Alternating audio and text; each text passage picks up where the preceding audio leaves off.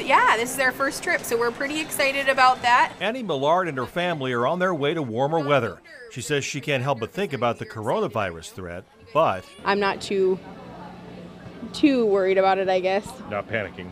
No, definitely not. Like most travelers we talk to, Millard says life must go on. That sounds bad, but I mean, if something's going to happen, I kind of think it's going to happen, and you can take as many precautions as you need to, but I think you shouldn't stop yourself from going to do things. The big thing is they don't want to be stranded. Rick South Jr. is a veteran Des Moines travel agent who says some of his clients are calling about the coronavirus.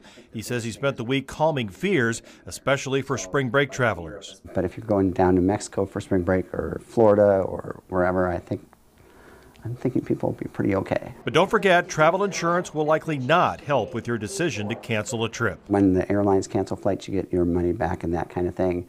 But if you don't want to go, let's say, to a place that's not infected, insurance normally does not cover that.